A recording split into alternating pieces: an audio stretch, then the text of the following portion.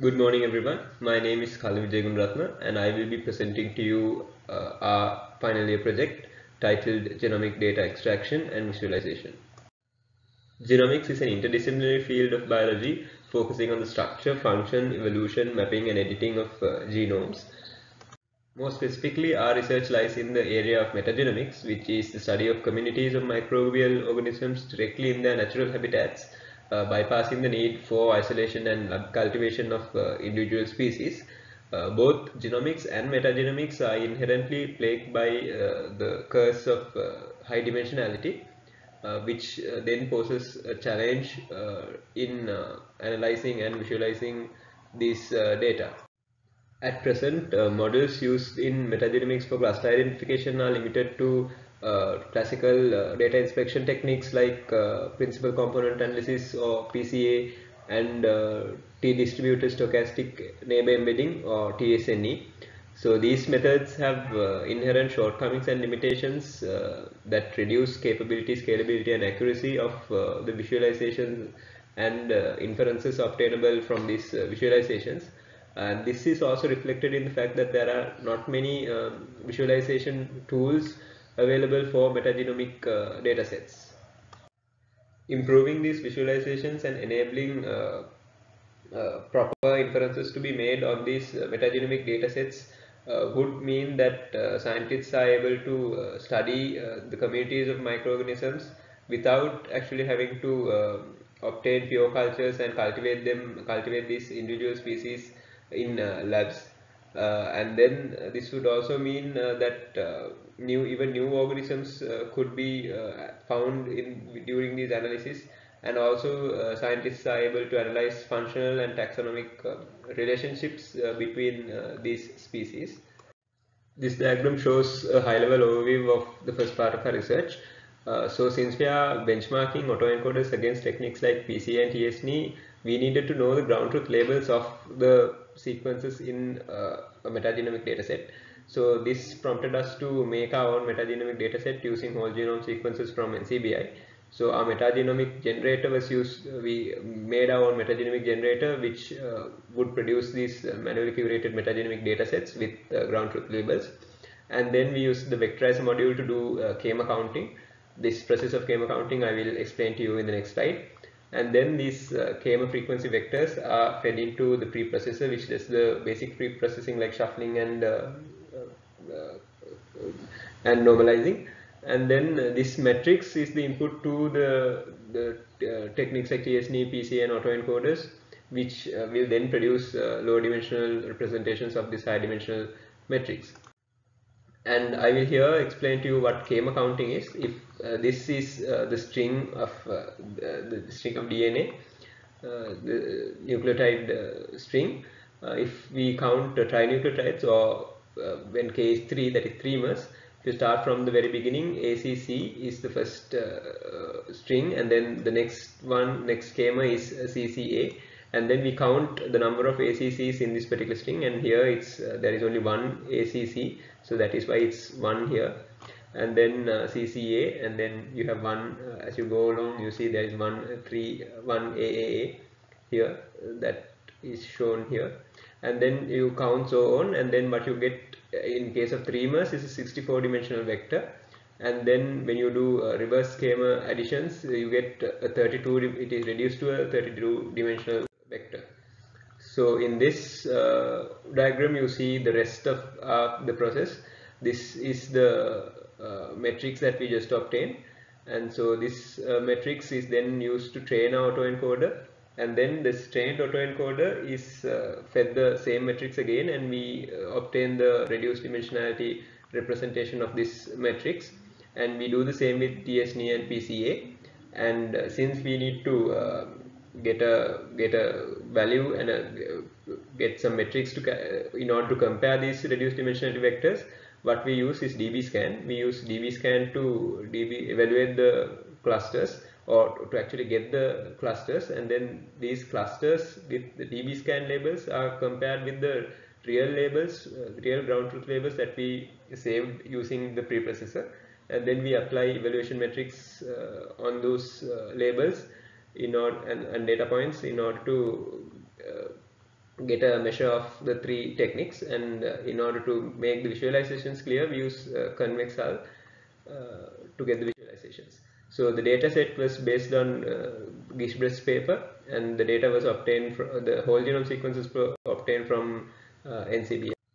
Uh, we use two evaluation metrics, uh, validity measure which is an extrinsic measure that considers the ground truth labels as well and also silhouette coefficient uh, which does not require ground truth labels but is a measure of uh, the cluster quality. So here are the results we obtained. Uh, as you can see autoencoders performed uh, better than TSNE and PCA on the V measure front while silhouette coefficient was uh, uh, comparable. And here again is trinucleotides. Again autoencoders performed vastly better than both TSNE and PCA what you see here uh, is the dimensionality reduction of uh, trinucleotide frequencies using uh, our autoencoders. And uh, what you see on the left hand side here are diagrams that uh, whose data points are colored using the ground truth labels. And what you see on the right hand side are the same diagram but these are colored using uh, the dbScan clusters. And also for clarity clarity's sake we have used uh, ConvexHull to uh, boundaries. Something worthy of notice here is are these clusters, uh, this uh, yellow cluster and this green cluster here. the yellow cluster is Clostridium phytofermentans and the green cluster is Clostridium beijerinckii. these two belong to the same family, these two species. But as you can see, the DBScan um, clustering has not been able to uh, identify them as two uh, separate uh, species in this particular case and here what you see uh, is uh, tetranucleotides with autoencoders. And again uh, these two uh, species can be uh, shown here. This is colored using ground truth labels. But what you see on the right hand side here on this occasion they have been uh, identified as two separate species. And what is worthy of notice is that in both representations these these two species because they belong to the same family are placed in very close proximity and uh, the, none of these other species actually belong to this uh, particular family. And what you see here is the TSNE representation of the same. As you can see uh, the species are arbitrarily uh, located. And it does not uh, give any inferences on uh, the taxonomic relationships among these particular species while these two are actually from the same genus that is not shown this is uh, the representation using PCA. Uh, so these results prompted us to uh, create our own visualization tool uh, which we named it uh, MetaG and you can uh, access the tool which is an open source tool on the GitHub page and also the research paper can be found in the links provided in this slide. So in addition to clustering and visualizations, we also added uh, uh, uh, BLAST, which is basic local alignment search tool. So you know with BLAST what you can do is after you get these uh, reduced dimensionality vectors you can also map it to uh, known databases and find out uh, labels, find out real labels to these data and you can use them as well to gain inferences on your metagenomic datasets. This diagram shows uh, the pipeline of MetaG on a very high level and this uh, pipeline uh, depicts how uh, combines uh, both sequence similarity approach through BLAST and also sequence compression uh, based approaches through autoencoders, PC and TSNE. And here we have prepared a short demonstration of MetaG. This is MetaG this tab is the autoencoder analysis tab and what you see here is the settings toolbar where you can choose your FASTA file and set the parameters for the autoencoder like the k-value, uh, autoencoder layers and the activation function. Uh, what you see here is uh, the autoencoder trained is the output of an autoencoder trained for the Atlantic right whale gut metagenome obtained from NCBI. Uh, this graph shows the 4-mer frequency percentages and this is the GC content pie chart for the sample. Moving on to the taxonomic analysis tab,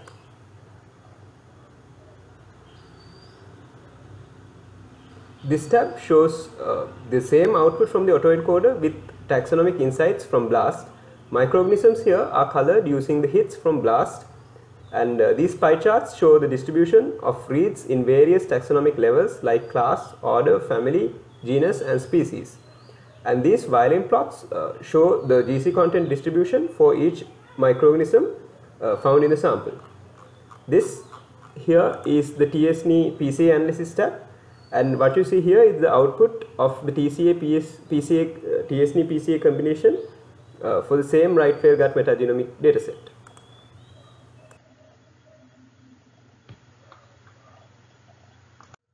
Here are some of our publications and uh, some notable milestones that we uh, achieved through the course of our project.